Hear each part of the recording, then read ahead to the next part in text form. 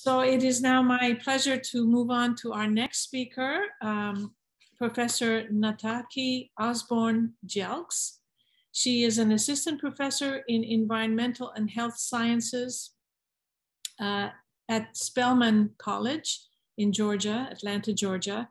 She investigates urban environment, uh, urban environmental health disparities, the role that place, race, and social factors play in influencing health, cumulative risk assessment, the impact of climate change on vulnerable populations, and the connection between urban watersheds, pollution, the built environment, and health.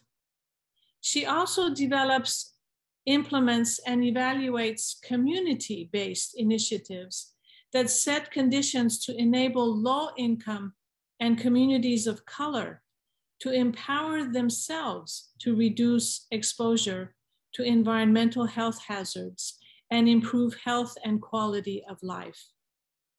Dr. Jelks is particularly interested in approaches that engage environmentally overburdened communities in monitoring local environmental conditions, generating actionable data for community change and developing effective community-based interventions that revitalize toxic, degraded spaces into healthy places. She has been and is involved at the local community level doing amazing work, and I would refer you to her uh, bio, uh, which is listed on our program. Um, but I want to just say that she studied chemistry and civil and environmental engineering at Spelman College and the Georgia Institute of Technology, respectively, before earning a Master's of Environmental and Occupational Health degree at Emory University and a PhD in Public Health at Georgia State University. Uh, the title of her talk today is Climate Justice and Environmental Health Disparities, Amplifying Grassroots Struggles. Please welcome Dr. Jelks to this wonderful conference. Welcome, Dr. Jelks. Thank you so much. And thank you for that uh, very warm introduction. I'm so appreciative uh, of the invitation to be here. And um, I will get started. It's, it's an honor uh, also to uh, follow Dr. Uh, Agyeman. I have studied his work for a number of years and used uh, just sustainabilities in um, my sustainable development class. So it's just a, a delight to be able to, to hear him. So thank you again for the opportunity to share. I want to talk a little bit about climate justice uh, and environmental health disparities. I'll talk about it from uh, my vantage point as an environmental health scientist. Um, but sometimes I think maybe I should have been, you know, an urban planner. Uh, I like to work on these issues um, around environmental health and uh, equity and justice um, as they intersect, you know, with the, the built environment in particular. So a lot of my work um, I think is applicable, um, you know, both uh, to public health, but also uh, to urban planning. So let's get started. I thought I would, you know, sort of begin this talk um, in kind of positioning you all um, just kind of where I am from my vantage point. And I'll, I'll make a lot of references to Atlanta and to Georgia because that's where I am, um, but also because I think there are some good illustrations um, as we think about issues of climate justice as well as environmental justice. So one of the things that um, I think about as an environmental health scientist uh, when I think about climate change are the health effects that are associated with it. And I think about the health effects that are associated with pollution. And Georgia is the home is home to three of the nation's largest dirty coal plants. When I think about those vulnerable populations, I'm thinking of children, of pregnant women, or those who are trying to become pregnant. Uh, I'm thinking about those who live and work around these coal fire burning, um, coal, coal burning power plants um, being at highest risk. Um, and, and when I think about these vulnerable communities, I think it's really important to recognize um, that there are not communities that are innately vulnerable. And um, my colleague and, and Shiro, Dr. Fatima Shafiei, says this all the time. She is a, associate professor at Spelman College and is a um, national, nationally known um, expert on environmental justice uh, and environmental politics.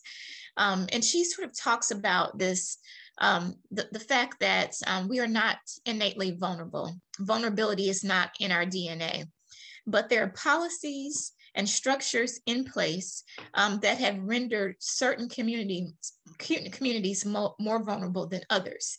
Now, in addition to that, we do typically think about children uh, and pregnant women and women uh, trying to become pregnant as parts of our vulnerable populations, as well as senior citizens. But I wanted to try to, try to make that distinction um, with respect to the fact that um, with the exception, you know, of um, children and pregnant women and the elderly and those that we think about uh, in terms of these critical windows of development for children. Um, you know, when women obviously are carrying children, uh, they are vulnerable. Uh, senior citizens are going to be more vulnerable because they are um, sort of at the opposite end, you know, of the spectrum. Um, immune system systems might be breaking down and that sort of thing. So we think about them as vulnerable, but everybody else um, is really made to be vulnerable by a number of different factors. And we'll talk about some of those today. So again, from the health perspective, um, as we look at the impact of air pollution on children's health, and so I'm I'm now correlating, um, you know, air pollution with uh, some of the climate impacts that many communities experience. Um, when a child is exposed to unsafe levels of pollution, um, there can be a lifetime of health impacts. Um, exposure in the womb or in early childhood can lead to a number of adverse health outcomes, including things like stunted lung growth, reduced lung function, increased risk of developing asthma, impaired mental and motor development, behavioral disorders, low birth weight, um, premature birth, and even infant mortality childhood cancers, the increased risk of heart disease, diabetes, and stroke in, in adulthood, um, as well as acute lower respiratory infections. When we think about our children, um, there are a number of school systems across the country that are still, unfortunately, trying to get rid of these dirty, polluting diesel buses. And so when children are riding these buses, um, they're being exposed um, to particulate matter um, and pollution coming out of the tailpipes. But beyond pollution, there are other climate change risks that we have to be that we have to consider. Um, you know, obviously we're concerned about uh, toxic pollutants, um, but fossil fuel combustion in particular increases the concentration of greenhouse gases in the atmosphere, and that causes things like hotter temperatures, more intense extreme weather, rising sea levels. Um, and as I, you know, talk today, I am remembering uh, in in my heart um, our friends and our family members and fellow Americans who are in the Gulf Coast region, uh, in uh, New Orleans and surrounding communities. Um, I have a brother in Baton Rouge, Louisiana. Thank God um, all is well for him, but we know that so many are just struggling in the aftermath of Hurricane Ida. Um, a friend earlier today in New York um, was talking about the flooding there um, and how um, just you know in a span of a couple of months um, she's lost you know a vehicle um, and other property because of the floods. And unfortunately um, there are some people who have suffered injury and even death as a result of these incidents so climate change connects to many different health outcomes. When we think about those human exposures, we're thinking about things like changes in regional weather. Uh, weather. Um, we're thinking about the heat waves, the extreme weather, temperature, um, precipitation, all of the things, unfortunately, that we have been watching uh, for a number of months now here in the United States. Um, and so those health effects, you know, are things like temperature related illness and death, extreme weather related health effects, uh, and, you know, um, extreme heat, you know, is one of the, the reasons that we see so many injuries and deaths in this country. Um, it's a kind of a little known fact. Um, but this summer, I definitely have seen a lot more news coverage about it. Um, it seems like these issues are being elevated a little bit more than they have been in the past. We can also think about air pollution related health effects, water and foodborne diseases, vector and rodent-borne diseases, um, as well as effects on food and water shortages uh, and population displacement the impacts of impacts of climate change on human health are far reaching. Um, and, and this is uh, shows some of the things that may have been on the last slide, but I'd like to just pull out a few other things here as we really think about climate change in the global context. Um, you know, just, you know, in the United States as well as in other countries, we're seeing this forced, you know, migration or displacement. We don't talk enough about um, things like um, mental health impacts and the trauma uh, associated with um, living through and experiencing these extreme weather events. Um, there's also heat related illness and death. Uh, cardiovascular failure. Um, there can be water quality impacts that then trickle down into health changes in vector ecology. Um, and we're seeing, you know, an increase in things like West Nile virus uh, in places where we didn't see it in the past. Um, just as one example. Um, in Atlanta, I can definitely attest to the increasing allergens um, with a longer, you know, growing season for a lot of the species that, um, you know, kind of cause hay fever and, you know, uh, emit a lot of pollen and, and that sort of thing our health is, is harmed by climate change um, based on where we live. And so we see some difference in impacts based on the geographic regions. So look at this map. And if you're in the United States, see what's what's happening in your region. Um, because I live in Atlanta in the Southeast, um, you know, we have um, mosquito and tick-borne infections uh, on the increase, uh, extreme temperatures, uh, extreme events like flooding, hurricanes, storms, and drought, um, outdoor air quality issues, um, water-related infections, um, as well as mental health uh, and well-being. but check out your area of the country if you're in the United States. and I think you'll see really um, a lot of similarities across these different geographies. So to talk about Atlanta just a little bit, um, when we look uh, a little bit ahead um, to the year 2050 um, and compare the intensity of climate hazards uh, now and then, um, we see an increase in um, five different categories, precipitation, warming, water deficit, drought, as well as heat waves.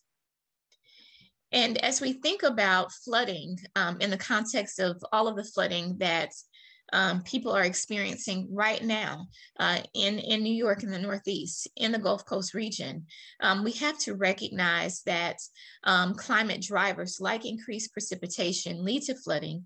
Um, it can lead to not only contaminated water, um, but a number of other environmental hazards, um, as well as waterborne infection. not to mention the loss of property, not to mention in some cases the loss of lives.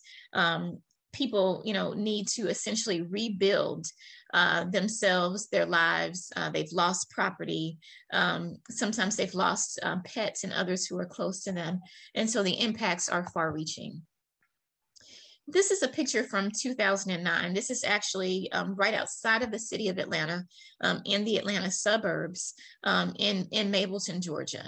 Um, and increasingly, we're seeing heavy, you know, rain events that lead to either localized flooding or really heavy, heavy flooding events.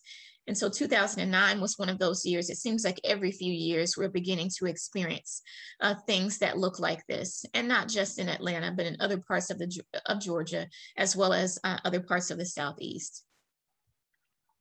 So if we begin to connect these dots, um, so we just talked a little bit about flooding, uh, increased precip precipitation and flooding. Um, let's also connect the dots with respect to higher temperatures. Um, we know that, you know, um, air pollution and specifically um, greenhouse gas emissions, carbon dioxide in particular, is a driver of climate change in this country. And so some air pollutants uh, like carbon dioxide are green are also greenhouse gases. Um, these greenhouse gases are essentially, you know, uh, serving as a blanket, you know, around the earth, leading to these hotter temperatures. Um, but not only that, climate change can make air pollution worse. Um, it's all connected. Um, just using Atlanta as a test case uh, or case study again, um, we see here in, on, on this uh, graph um, that we have, you know, almost 20 more days, warm spring days um, above normal. Uh, we had them, them in 2020 than we did in 1970. So you can see in a relatively short period of time that things are really creeping up and they're changing quite a bit.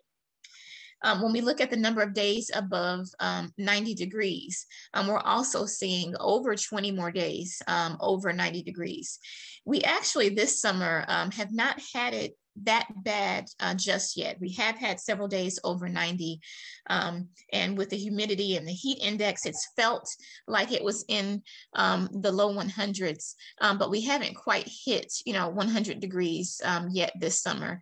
Um, and, and that's something we have experienced in the past, but we do know that uh, folks in other parts of the country um, have hit that milestone this summer already. So we see a longer growing season in places like Atlanta, um, which equals a, long, a longer allergy season. So there are a number of health related impacts that are associated with climate change. And I really don't have the time to go through all of them, but I wanted to spotlight a few. Here again, looking at the time period between 1970 and 2020, we have 30, 31 more days uh, in our growing season here in Atlanta, um, which is leading uh, to a lot more um, pollen, you know, in the atmosphere. Um, and that impacts a number of folks, um, especially people who might already uh, be challenged with some underlying health conditions related to their respiratory health. So as I lay out these various um, challenges um, with respect to health, um, you know, I, I, want to, you know, acknowledge that the impacts are far reaching, they are beyond health. Um, but from my vantage points, you know, I wanted to emphasize those. But whether we're talking about challenges that are related to health, um, whether we're talking about um, our, our, economic status, um, whether we're talking about the, the quality of our local environments, um, it's important to realize that with respect to climate change impacts, we are all in the same storm. None of us are immune from these impacts um, as we look across the country, as we look across the world. Um, but even though we're all in the same storm, we are not in the same boat. Certain communities are bearing the brunt uh, of these climate change impacts. Certain communities have been made to be more vulnerable. So as we look at this um, diagram from the U.S. Environmental Protection Agency, um, you see exposure, sensitivity, and ability to adapt. And all of this feeds into vulnerability, um, whether or not populations will be vulnerable to climate change with respect to health uh, outcomes, and, and, we could extend this beyond health. Um, when we talk about exposure, we're, we're talking about uh, the contact between a person and one or more biological, psychosocial, chemical, or physical stressors, including stressors that are affected by climate change. So flooding, for instance, could be one of those. The sensitivity is then the degree to, to which people or communities are, are affected um, either adversely or beneficially if, if that were the case um, by their exposure to climate variability or change.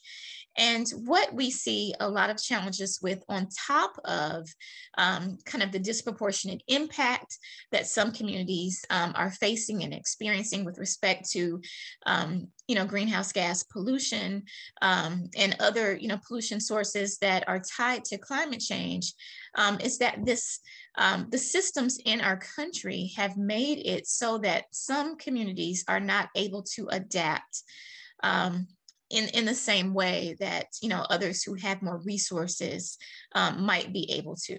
Um, and so if we don't have if we have a weakened ability to adapt um, then that is leading to greater vulnerabilities in terms of health outcomes and in terms of other um, outcomes that are important um, to our quality of life here, just kind of breaking down this idea of vulnerability um, a little bit more. Um, we see climate drivers, exposure pathways, health impacts, and then we're ending up with health outcomes. So when we look at exposure, for instance, um, people in poor neighborhoods are generally more likely to be exposed to climate change health threats.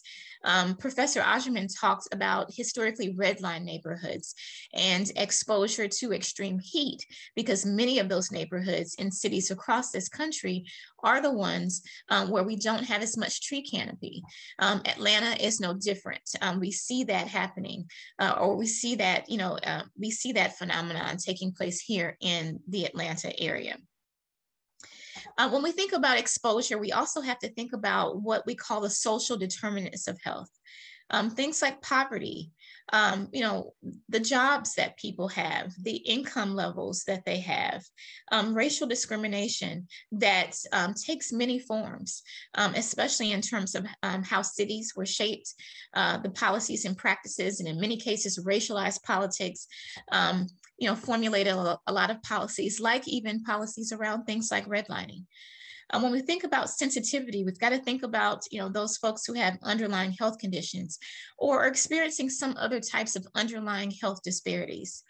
Um, and then the adaptive capacity you know do people are people living in poverty do they have access to quality education uh, are they able to influence um, you know public policy and government um, to make policies in the best interest um, of those communities who have been made to be most vulnerable um, do they have access to care um, if they don't these are the folks who are experiencing the adverse health outcomes again we're all affected by this storm but we're definitely not all in the same boat so I approach my work from a frame of environmental justice. And um, I would, you know, like to posit climate justice as environmental justice. Um, when we when we talk about climate justice, I'm focusing on the root causes of climate change, I'm focusing on making systemic changes that are, are required to address the unequal burdens um, to our communities and to realign our economy with natural systems. Um, we see, you know, kind of a, it's, it's a cycle uh, in terms of, you know, there was a conversation earlier about capitalism um, and, you know, capitalism drives this system um, that produces these inequitable, um, you know, impacts for certain communities. As a form of environmental justice, climate justice really means that all species have the right to access and obtain the resources needed um, you know, really to advance their their quality of life, to have an equal chance of survival and freedom, you know, from discrimination. And as a movement, climate justice advocates are working from the grassroots up to try to cre- create solutions to our climate and energy problems, um, you know, pollution related problems, all of these things that are associated with climate change to ensure the rights of, of all people to live, to learn, to work, play, and pray in safe, healthy, and clean neighborhoods. Really important points. So some people would say that their neighborhood uh, is killing them. And so that might seem to be a bit drastic, but just ask the folks in Flint, Michigan, who are still struggling um, with access to clean to clean water. Um, you know, in, in Flint, the process has started to, you know, replace some of the lead service lines, um, but it isn't happening fast enough. Families are still, you know, depending on bottled water in some cases for their everyday needs to carry out their everyday needs. So imagine that burden of having to cook, having to bathe, having to brush your teeth, um, having to, you know, prepare large meals maybe for family, you know, on holidays like Thanksgiving or Christmas or other um, holidays, you know, um, that uh, communities might uh, might celebrate or observed based on um, religious or faith, you know, beliefs and practices. Um, think about that burden. I hail from uh, um, from Mississippi originally, but I spent a number of years living in Baton Rouge, Louisiana, which is a part of the Cancer Alley corridor. Um, and so here in Cancer Alley, um, you have over 134 or so chemical companies, petrochemical companies, and other pollution generating facilities that um, are, are in close proximity to where people live. Um, in many cases, people live along the fence lines of some of these facilities. Um, I actually was fortunate enough to grow up in a middle class neighborhood, but we were not immune to these types of facilities. Um, this is a photograph from Norco, Louisiana, um, where the industry has literally moved within 25 feet of where people live. Um, and one of the things that the industry did was, you know, create a basketball court uh, for the children in the, in the community. Um, but if you think about it, um, how, how safe is it for our young people to play basketball as the pollution billows from the smokestacks? These are the types of things when we think about air pollution that cause um, challenges with respiratory health in many parts of the country uh, when uh, communities of color and low income communities and urban uh, you know communities are exposed to different types of air pollution. We have higher rates of asthma uh, different types of respiratory illnesses that impact people in those populations this photograph is actually within a mile um, of my home in Baton Rouge, Louisiana. And I actually have family who still live there. My brother is there with his family. Um, but again, um, even you know, in a middle class neighborhood, we were not immune uh, from exposure to these facilities. Um, we just did not um, have it as intensely um, as uh, our neighbors in the Cancer Alley corridor who were living right along the fence lines of these facilities. So I studied the urban environment, but we could talk about the rural environments um, as well. Um, and the urban environment and the environment period really is a determinant of health. So what is in our environment impacts our health so drawing from my you know southern roots again um, i want to you know just um, sort of elevate this idea um, again of you know the dirty south which is a um, this this phrasing comes from um, a, a rap song um, by a group an atlanta-based group called um, the Goodie Mob. Um, so they had a song back in the late 1990s called the dirty south and so they were talking about um, lots of issues you know uh, some issues around you know the police and um, you know, kind of uh, the the three strikes you're out drug laws and things like that. But we could take this same uh, concept of the dirty South and really talk about the Southeast United States. Um, and I'll talk a, lot more about about Georgia. When we think about the South, though, it has a legacy of unequal protection. And Dr. Robert Bullard, who is known as um, the uh, the father of the environmental justice movement says, you know, why would the environment be any different? We can look across the board at things like voting rights, um, you know, stuff that is happening right now in real time. You know, a, a huge assault, you know, on voting rights, uh, in part uh, in response um, to what Georgians did, you know, at the at the ballot box earlier this year um, by changing our representation um, in terms of those who are representing Georgia um, in the U.S. Um, so, you know, whether it's voting rights or the environment, um, this the South has this legacy of unequal protection. And so some might say that the system is broken, but I submit to you that the system isn't broken. It was built this way. Again, historic uh, and uh, historic racism, um, systemic racism, structural racism is has shaped um, our country. It has shaped Atlanta, which is known largely as a as a Black city, um, but we still have some policies and practices in place that were implemented years ago that um, impact the inequities that people experience today. Um, one of those is with respect to pollution. And in 2012, there was a study called The Patterns of Pollution that looked at demographics uh, and pollution sources in metropolitan Atlanta. It looked at a, four, a 14 county metropolitan Atlanta area. Um, and in the study, it was found that there were 52 environmental justice hotspots in this 14 county area.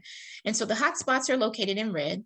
These are the places where you have multiple pollution sources, but you have um, some level of social vulnerability. So you may have low, low income communities, communities of color, maybe language isolated communities, um, but some sort of social vulnerability overlaid um, you know, with the, the environmental hazards.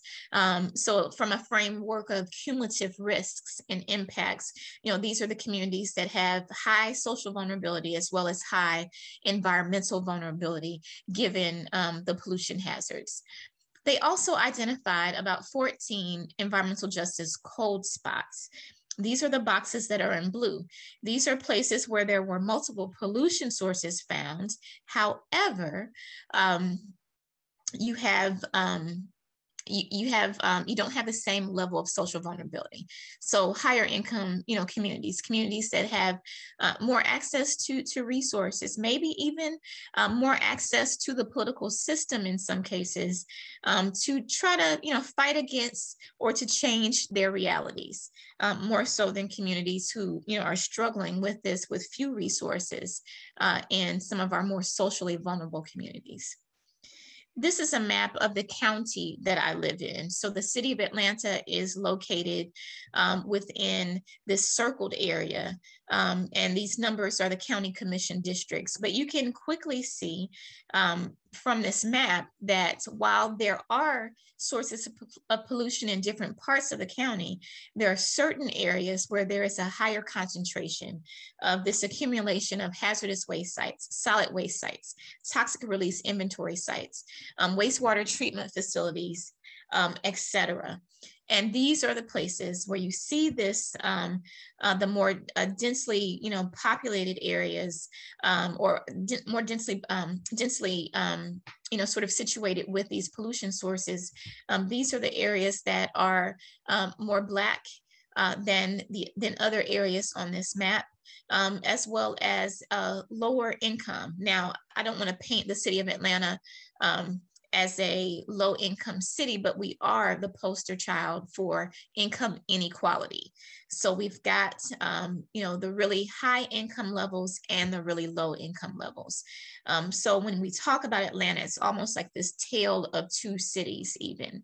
Um, our current mayor uh, ran uh, for election under the moniker, you know, One Atlanta, trying to bring Atlanta together. Uh, unfortunately, what we find um, is that we still have a number of challenges despite um, her efforts to try to address these issues. When we talk about life expectancy, for, for instance, um, the highest average life expectancy in metropolitan Atlanta, and this is from a study of about five core counties um, out of the 14 that I showed you on the other map, kind of the five core counties um, of the metropolitan Atlanta area. The highest level of life expectancy um, is in um, the Vinings area, which is in a county um, that neighbors um, Atlanta. Um, it's called Cobb County. Um, so that's the highest average life expectancy in metropolitan Atlanta at 87.6 years. The lowest is, is for those who live in the Bankhead neighborhood, which is in the city of Atlanta. It was in that circle that we just saw on the last map with all of those pollution sources this same community um, is one of the top five um, environmental justice hotspots in the other map that I showed you. Um, communities uh, or you know the the people who live uh, in the Bankhead area um, are you know largely you know lower income um, you know black residents um, save you know the gentrification that is currently happening. Um, so those dynamics and the demographics are changing just a bit. But see this there is a 24 year difference in life expectancy from folks in the vinings neighborhood and people who live in bankhead a 24 year difference in life expectancy. Now, while these are different counties, we're talking about areas that are less than 10 miles away from each other less than 10 miles away from each other. Some people are dying closer to 64 years of age, and others are making it almost to 88. There's something wrong with this. Again, the system is not broken. It was, it was built to produce these types of inequities. So as I began to um, kind of move toward my close, I wanted to share just a couple of examples um, of what local communities are doing. So in that Bankhead neighborhood that I just mentioned, um, there is a resource called Proctor Creek. Um, and Proctor Creek is it's beginning to be sort of a household word in the city of Atlanta. Um, this is a, a, creek, a water resource uh, on the west side of Atlanta that um, has been, you know, historically a, a, source of pride for West Atlanta communities, um, a place where children played, where people fished and swam, and where people were actually baptized. Um, today, the creek is one of Atlanta's uh, most environmentally impaired streams, um, and it has been uh, elevated um, for national attention by being placed on the Urban Waters Federal Partnership list, which is a list of about 19 different locations across the country um, that the U.S. Environmental Protection Agency and other federal agencies invested in primarily um, during the Obama administration and a little into the, the Trump administration as well, although a lot of that support has, um, has been dialed back a bit. Um, Proctor Creek, you know, again, this place where children played, people fished. And, you know, I will say that anecdotally, we know that kids still play there, people still fish there. I don't think that people are um, uh, having baptisms there, but people are still swimming in this creek. And it's one of our most impaired uh, in the metropolitan Atlanta area. It should be a creek that is suitable for fishing, um, but it doesn't man, uh, meet its state mandated water quality requirements. So it does not support that designation as a fishable stream. E. coli bacteria is one of the contaminants coming from some of our uh, polluting infrastructure in the city.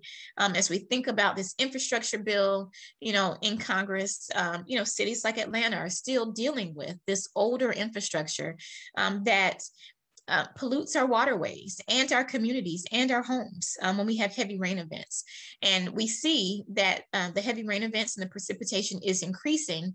And so we have raw untreated sewage mixed with stormwater that flows into our creeks and streams and sometimes into homes when we have those heavy rain events. This is one example um, of one of those heavy rain events uh, impacting uh, people where they live. And so residents uh, in the Proctor Creek watershed, as well as in other communities, front, frontline communities across the country, have begun to respond um, to these issues, whether they are approaching it from a lens of climate justice or just from, you know, a lens of environmental justice. Um, communities are engaging in community-based participatory research, um, there are some communities who are engaged in something called community owned and managed research. Um, whatever it is that we call it, um, the idea is that communities are a part of the research process and they are a part of the change process in their communities. And when we talk about these different types of participatory um, research processes and approaches, um, we're not talking about science in a traditional way. We're not talking about research in a traditional sense in which we're just trying to find some sort of generalizable knowledge. Um, you know, while generalizable knowledge is important, we're also looking to make some targeted changes in policy, in practice, uh, or in whatever it's going to take to make communities cleaner, greener, healthier, and more sustainable. So one example from my work in the Proctor Creek watershed, and this is, um, I lived, at actually recently moved um, to the neighboring watershed, but for most of the uh, over 20 years that I've lived in the city of Atlanta, I've lived in the Proctor Creek watershed, um, went to college in the Proctor Creek watershed, um, and I continue to work um, in this watershed to uh, try to improve health and quality of life, to help residents um, with their goals uh, to restore Proctor Creek so that it is playable, fishable, and swimmable in a safe manner once again. Um, and we really see that the restoration of the watershed um, relating directly to the restoration of the community and to the people within it. Um, so one thing that community residents or community scientists, as we call them, have done in Proctor Creek um, are to create some digital tools. Um, working with uh, colleges and universities and with students in particular, um, we've co-designed um, a set of meaningful street level environmental health indicators um, to capture data about, um, to track um, and the community found it necessary to do this because they were taking concerns and claims uh, to city officials who did nothing about it. In some cases, the city officials we have no idea what you're talking about. We don't know where this illegal dumping is. We don't know where all the tires are dumped. Um, we don't know of any places where um, it has flooded since 2002 or 2009 when we had those really big floods. We have no, you know, evidence that there's this localized flooding that happens even on some of these smaller events. Um, we, we don't know anything about um, you know, the, the lack of um, or, or, the inadequacies of our stormwater infrastructure in certain parts of the city.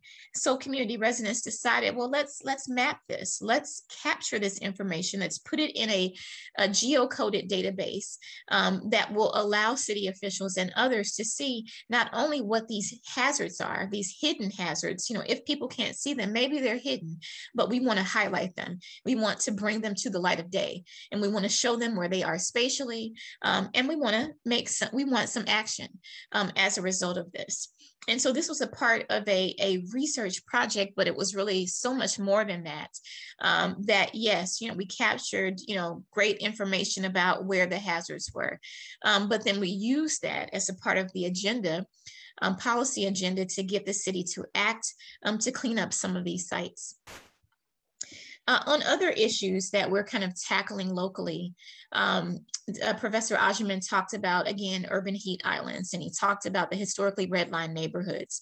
And so um, we have this same profile in Atlanta as many other cities, um, where it's hotter in the downtown areas, it's harder in those places, uh, hotter, excuse me, in the places that have been, um, you know, highly developed and built up, where we don't necessarily have a lot of tree canopy and cover, although Atlanta is known as a city uh, in the forest because of the tremendous, you know, um, forested resources that we have here, we still have some communities um, who don't have enough access to those types of resources.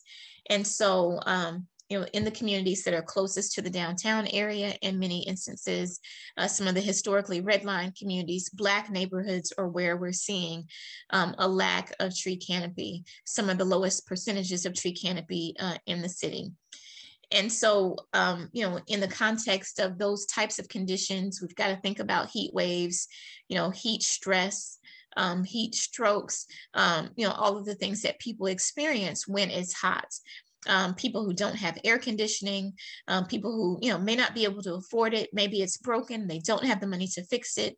The elderly, those who are on fixed incomes, um, or those in some cases who might just be trying to um, keep their costs down um, because of the fact that they suffer from high energy burden. Um, in in the city of Atlanta, we have a number of zip codes that are experiencing extreme energy burden, meaning that people are paying a very large percentage of their monthly income to pay for electricity bills. So sometimes people might elect um, to not turn their air conditioning on or to not use it enough um, so that they can, you know, keep their bills down. Um, and that can potentially have health effects, you know, if it's one of those during one of those times where the heat is extremely, um, you know, high and and unbearable um, and, and, those who already have certain types of underlying conditions um, like heart problems, you know, asthma, those who are um, homeless, um, and we have a very healthy homeless population, unfortunately, here in the city of Atlanta. Um, so these are the folks who are going to be vulnerable to extreme heat. So what are we doing about it? Uh, in another community engaged effort, um, I am co-leading a project called Urban Heat ATL. Um, and um, I am at Spelman College, which is a historically Black college and university um, for women. Um, we are partnering with the Georgia Institute of Technology or Georgia Tech, as well as the city of Atlanta and community-based organizations like the West Atlanta Watershed Alliance, Partnership for Southern Equity and others. and we have been since March of this year, um, mapping heat islands um, across the city of Atlanta. Um, so we have been deploying um, students from both of those two institutions, as well as community members, um, to map temperature, kind of at the at the street level, at the ground level almost, with handheld uh, sensors. Um, and this was important to us because we know that urban heat islands disproportionately affect uh, vulnerable community members um, and that heat extremes are particularly deadly in densely populated urban centers such as Atlanta. Um, other cities have done these types of studies. Um, some cities have looked at satellite imagery, um, you know, to understand, um, you know, what's happening in terms of temperatures. Um, you know, other cities have um, you know, had sensors mounted to cars and bikes. Um, like eh, we are actually planning to do this Saturday as a part of a, a new campaign. But we have been just deploying people to the streets um, where they uh, in the communities where they live uh, on their college campuses with these handheld uh, kind of pocket sensors um, that um, it it has an external temperature probe as well as a, a, temperature sensor on the inside of this little box contraption. Um, and so we are um, using this um, to map what's going on. And so we're able to see, you know, even these small changes in temperature as we, you know, um, travel through neighborhoods, we're able to see some of the differences in the neighborhoods that are heavily forested versus those who are not. Um, and, and, even, you know, those neighborhoods where there's perhaps a lot of truck traffic, um, there is uh, more pollution, um, and we're, you know, beginning to understand how that, of course, is tying into to temperatures. Uh, this Saturday, I mentioned we are um, colleagues at Spelman um, are leading this effort um, and working with uh, colleagues at Georgia Tech, Emory University, the City of Atlanta, and community-based organizations um, to work with NOAA, um, the government agency. Uh, and NOAA has supplied us with sensors that can be mounted to vehicles and to bikes. And so we will be driving around Atlanta to get a one-day snapshot of what temperature is looking like, um, again, across various neighborhoods. This is another approach that is going to get us a little bit more fine-grained data than, you know, some of the satellite data would give us. Um, and it's also very community engaged. You know, we have students uh, involved as well as community members from across Atlanta neighborhoods who have signed up um, to volunteer to collect data as a part of this effort. And so I, I wanted to share those things um, as I as I close. And I have just two two or three more slides here. Um, I want to make uh, sort of just a, a kind of a, a, hard shift, you know, from talking about what communities are doing, um, what community engaged projects are happening, where you have partnerships between academic institutions and community-based organizations, um, to just saying um, that you know, women have really been shouldering and leading the fight for environmental justice as well as climate justice in this country. And so I want to close out sort of giving homage uh, to some of those women.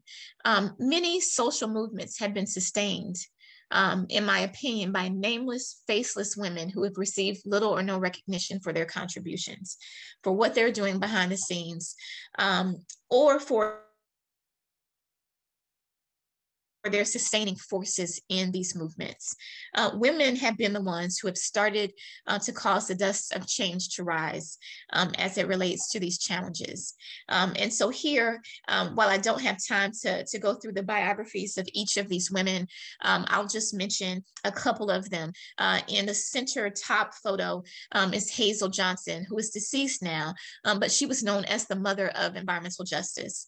she lived in Chicago, Illinois in a public housing facility called Altgeld Gardens. And her daughter, Cheryl Johnson, um, lives there today and is carrying on the fight um, that Hazel led um, with her organization, People for Community Recovery. Um, I have uh, in the bottom middle, uh, my shero, Dr. Mildred McClain, who is with Harambee House and Citizens for Environmental Justice in Savannah, Georgia. Um, look her up, Google her, listen to uh, her words in, in, one of her riveting um, addresses, um, you know, whether it be to, to folks in DC uh, or in the local community. And she has been a warrior on the battlefield, working for environmental and climate justice in a coastal community in Savannah, Georgia. So we talk about those impacts of things like sea level rise. She is on the forefront of this work um, Elizabeth, Elizabeth Yeampierre, who is um, in the picture with her fist up. Um, she is in uh, the Bronx, New York, uh, with an organization called Uprose. Um, and she is a, um, a very, um, you know, memorable voice, clear, clarion voice, I should say, uh, in terms of the climate justice movement uh, and working on issues for, for um, Black and Brown people, not only um, in her community, um, but across this country and world. Um, and then this is my, my sort of final slide here. Uh, there are a number of amazing women here, um, but I'll just highlight Margie Richard, who is in the bottom, uh, bottom row uh, in the middle. Um, she lives in actually Destrehan, Louisiana now, but she grew up and lived in Norco, Louisiana. And she was so bold as to challenge um, the Shell company, Shell Oil Company, that was um, about 25 feet away from her home. She went to a shareholders meeting. She worked to collect air samples um, to, to demonstrate that what the pollution that Shell was putting out was negatively impacting this community. And she was able to get community members who wanted to leave relocated um, away from the toxic pollution.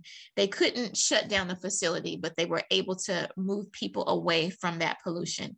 And there's so many other women here who I just don't have time enough to um, to tell their stories. Um, but I wanted to to share this because women are leading this movement. Women of color are leading this movement. And as we talk about amplifying these grassroots struggles, um, I had to um, just pay my um, um, my uh, just pay gratitude um, to the work that these amazing women do on a daily basis. Um, so this is my contact information um, and I will close this out and stop sharing my screen and see if we have um, any questions.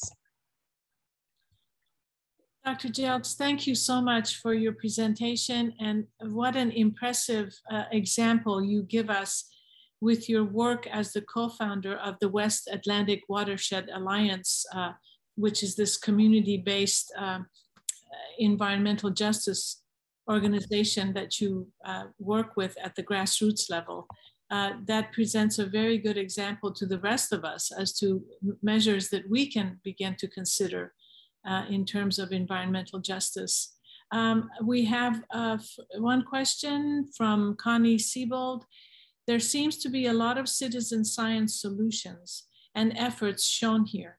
Do you think that the crowdsourced data is going to serve a more prominent role in pressuring positive policy action going forward as opposed to traditional lobbying efforts? What a great question. Um, I, I, think that um, it, it's kind of a both and. So I, I, think that those traditional lobbying efforts and educating our decision makers and holding them accountable um, and community, you know, just regular old grassroots community organizing needs to continue. But increasingly in my work and in the work of my peers in different parts of the country, I am seeing um, this citizen and community science generated data um, take on a more prominent um, position. Now, I will say that in in you know many places you talk about you know community science or citizen generated data. Not everybody you know sort of takes that data as the Bible, if you will. But what I have seen it do is to um, you know, force, um, you know, maybe municipalities. We've seen this in the city of Atlanta with some of the community collected water quality data. The city didn't take that that data, you know, as the Bible and say, okay, since you found, since community members have found, you know, sewage pollution uh, at, you know, um, really high levels, you know, we're not going to take that as as the Bible. But what we will do is we'll invest our own money um, into, you know, doing the testing ourselves. And when they did, they found the same results that the community had found. Uh, and quite honestly, um, because the city is structured in a way that, you know, with our water resources, they're not able to do kind of these full evaluations of these various water basins um, except for once every five years, this community, you know, science data um, is calling their attention to things that they, you know, they missed and they will likely continue to miss um, if they, you know, are not able to change, you know, the frequency of when they do their own testing. So, you know, in that case, and there have been some cases, you know, some other cases where, you know, kind of the, um, you know, like with the the instance with Shell in Norco, Louisiana, um, mm-hmm. you know, that there was some pressure, you know, put on that company because um, citizens had been using these, you know, buckets, um, air sampling buckets, you know, to, um, you know, collect, um, you know, air quality data. And so, you know, they were able to push, you know, um, you know, authorities, um, you know, at the federal level, as well as, you know, put a lot, apply a lot of pressure to Shell, where they, you know, kind of backed off. Um, I won't say backed off, but they delivered some of what the community wanted to see in terms of at least moving away from that pollution. So I say all that to say that I do think that this type of data is going to be a lot more prominent moving forward. Um, it's not to say that it's going to always be easy to get that data you know seen as as as you know quality data but there are things within kind of the justice 40 initiative that the biden administration has put forward um, that will actually make some investments uh, in air monitoring equipment and resources that will be made available to communities to help them do some of their own monitoring. So that says to me um, if we're going to put that money you know, into the community's hands, then we're going to be paying a lot more attention to that type of data moving forward. Thank you. Um, Dr. Seaman, do you have a question? I do. Um, so I was wondering, um, I found your example of the case of Norco in Louisiana interesting and this ability to pressure um, for being able to move away from the pollution. I'm wondering um, what the responses of other companies have been in similar situations. Has there been an increased response um, in in relation to kind of public awareness campaigns around these? Um, and are there any kind of lessons learned um, for pressure groups to to take away from those examples to then apply in other situations? Good question. Good question. So, in terms of other companies, so there has been, um, and this was some time ago in uh, Pensacola, Florida. Um, there was another situation where communities were fighting um, for relocation. Um, there was a group called uh, Communities Against Toxic Pollution um, or Against a Toxic Environment, and a woman named Margaret Williams, and she was one of the, the pictures. She's deceased now, but she fought to get her community relocated um, and was successful in, in uh, being able to do that. There was kind of a pesticide formulation plant and some other facilities, um, and so they were able to um, get you know relocated. So that's one example. in another Louisiana case, um, there was a Shintech um, facility um, that wanted to come in. And so you had uh, Imelda, a woman named Imelda West, also deceased now. She was one of the pictures um, who helped to lead a grassroots campaign um, to really, to essentially sh shut that the plan down. You know, they wanted to to build this new facility in Convent, Louisiana. Um, the community was already um, uh, inundated with other pollution generating facilities and they were able to um, you know, get um, the local NAACP involved and, you know, work with elected officials and they were able to apply enough pressure that that facility was not built. So those are just a few other examples that were led by women in particular. Um, one other example I'll mention that wasn't led by a woman, but is, is an extraordinary example uh, in Spartanburg, North Carolina, uh, South Carolina, excuse me. And um, you can, uh, if you type in, you know, kind of Spartanburg, environmental justice, uh, or there was a group, there is a group called Regenesis led by um, a friend of mine, Harold Mitchell. Um, and he worked to bring a number of uh, industries to the table. Uh, he leveraged, you know, small $20,000 environmental justice grants from the EPA and turned it into millions. Um, got new health facilities um, in Spartanburg, got new educational facilities in Spartanburg. After he did all of this, he ended up being a, a state uh, representative. Um, he's retired from that now, um, but just an amazing body of work. Um, and he has a, there is a process that EPA touts um, that sort of describes the work that he did, and it's called collaborative problem solving.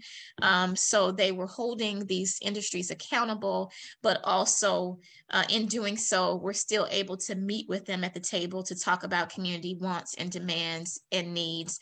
Uh, and ultimately, they were able to get the, the companies to be responsive after a while, um, leverage federal resources and other things. Um, so in terms of lessons learned, I would just say that it's it's all about kind of layering of strategies, multiple strategies. So, you know, like the regular, you know, um, tried and true, you know, advocacy strategies that we were just talking about. Um, these citizen and community science strategies are really important um, applying pressure just wherever you can. You know, um, I think, you know, we're in a time right now um, where in terms of, you know, federal government um, from the EPA on up, you know, there's kind of this a whole of government approach uh, to environmental justice. Um, they're still kind of figuring things out, but at least, um, you know, folks are oriented that way. Um, and so now is really a good time to, you know, dig in, um, and to be engaged, um, you know, both uh, at the community level, but also with these government agencies like EPA and the Council for Environmental Quality, who now have these mandates um, to elevate issues of environmental justice and who have mandates to work specifically on the climate crisis uh, and, you know, to look at those root causes and how some communities are being disproportionately burdened. Thank you so much. Uh, I think our time is up, but uh, what a wonderful uh, presentation. You, have really given us a lot of great ideas and uh, pathways that perhaps uh, many of us didn't think about. And uh, we really appreciate your joining us today, Dr. Jelks, and wish you all the best in your endeavors, especially the project you showed us on September 4. We wish you all the best with that. Thank you so much. And thank you again for the invitation. Thank you. All right. So our viewers, uh, we will now have a lunch break uh, and we will uh, resume at 2 p.m. Eastern uh, Daylight Time uh, with our next speaker. Uh, and I hope you will join us at 2 p.m. sharp. Thank you very much.